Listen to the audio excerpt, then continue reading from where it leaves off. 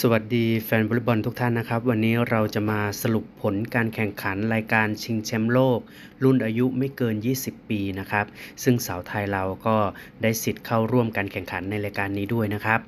สำหรับการแข่งขันที่ผ่านไปในรอบแรกนะครับ ซึ่งแข่งทั้งหมดอยู่ 3 เกมนะครับ ผลงานของสาวไทยนั้นนะครับ ก็พ่ายให้กับ 3 เกมอย่าง USA นะครับ รัสเซียแล้วก็ตุรกีนะครับ แต่ถึงอย่างไรก็แล้วแต่นะครับ ก็ยังมีรอบที่2นะครับก็คือรอบจัดอันดับนะครับสำหรับวันนี้นะครับ เดี๋ยวเราจะไปดูสรุปผลการแข่งขันกันอีกครั้งหนึ่งนะครับสำหรับ การแข่งขันรอบแรกนะครับ วันแรกก็คือสาวไทยพบกับตุรกีนะครับ ซึ่งการแข่งขันรอบนี้นะครับ สาวไทยก็เหมือนจะออกตัวได้ดีนะครับ แต่สุดท้ายแล้วนะครับ แรงตกแล้วก็พ่ายให้กับทางตุรกีไปอย่างน่าเสียดายนะครับ และก็ภาพรวมทั้งหมดนะครับที่เกิดขึ้นนะครับ ก็จะเห็นว่า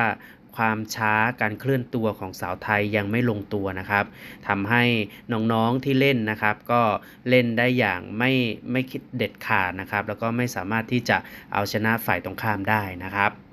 ผลการแข่งขันจึงทำให้ทางตุรกีนะครับเอาชนะไทยไปได้ 3-0 นะครับด้วยสกอร์ 25 ต่อ 20 25 ต่อ 18 แล้วก็ 25 ต่อ 19สำหรับ เกมวันที่ 2 นะครับ ไทยพบกับ USA นะครับ ช่วงแรก ๆ ที่ไทยได้ลงสนามในเซตแรกนะครับ ดูเหมือนว่าจะเล่นสูสีไปกับ USA นะครับ แต่สุดท้ายแล้วพอ USA นะครับ จับทางได้นะครับ ด้วยความช้าของสาวไทยอยู่นิดนึงนะครับ แล้วก็การเคลื่อนย้ายอย่างเงี้ย มัน มันดูแล้วยังช้าอยู่นะครับ แล้วก็การบุกที่ไม่เด็ดขาดทำให้ทาง USA นะครับ จับทางได้ แล้วก็สามารถที่จะเล่นบอลเร็วสู้กับเราหลายายลูกนะครับทำให้เกมของเราเนี่ยไม่สามารถที่จะรับลูกของ USA ได้นะครับ จึงทำให้สกอร์หรือว่าแต้มนี้ขาดค่อนข้างที่จะขาดลอยมากๆนะครับสำหรับ การแข่งขันที่เกิดขึ้นนะครับ USA ก็เอาชนะสาวไทยไปได้ 3 ต่อ 0 เซตนะครับ สกอร์ที่เกิดขึ้นนะครับก็เป็น 15 ต่อ 25 8 ต่อ 25 แล้วก็ 13 ต่อ 25 ก็ถือว่าได้ประสบการณ์ไปเต็มๆนะครับ แล้วก็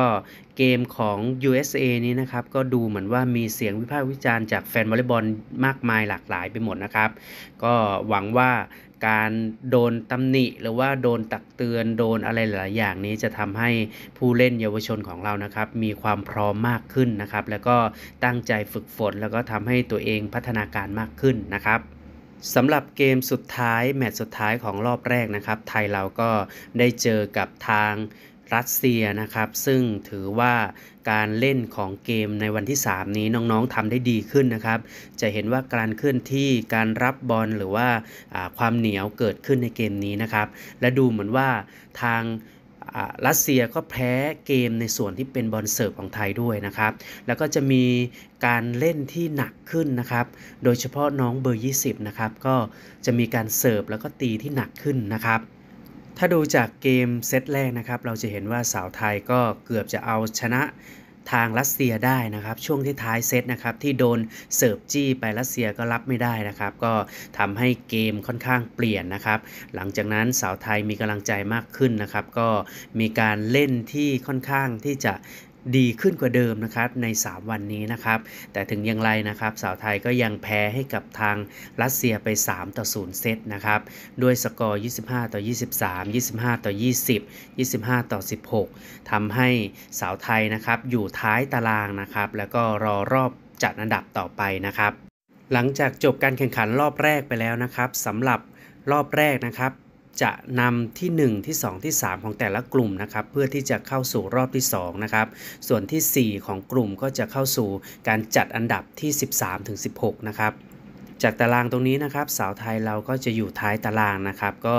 ร่วงไปจัดอันดับที่ 13ถึง16 ต่อนะครับอย่างที่ได้บอกแฟนวอลเลย์บอลไปนะครับ ถึงแม้ว่าเกมการแข่งขันนี้จะแพ้ 3 นัดรวดนะครับ ก็ ถือว่าสิ่งที่เกิดขึ้นกับน้องๆก็คือประสบการณ์นะครับ ไม่ว่าจะเป็น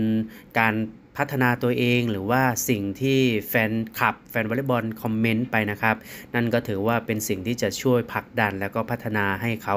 มีศักยภาพมากขึ้นนะครับ ก็หวังว่าบางคนนะครับ หรือว่าทั้งหมดนี้ก็จะเป็นส่วนหนึ่งของชุดใหญ่ต่อไปในอนาคตนะครับ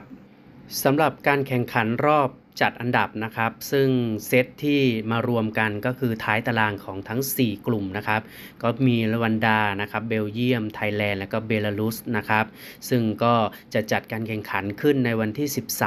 13 14 15 ที่จะถึงนี้นะครับ ก็ฝากแฟนบอลเลย์บอลนะครับ คอยติดตามแล้วก็ให้กำลังใจเช่นเคยนะครับ อย่างที่เราบอกไปนะครับ ยิ่งน้องอายุไม่ถึง 20 ปีนะครับ บางคนก็ 16 17 ก็ต้องคอยให้ประสบการณ์แล้วก็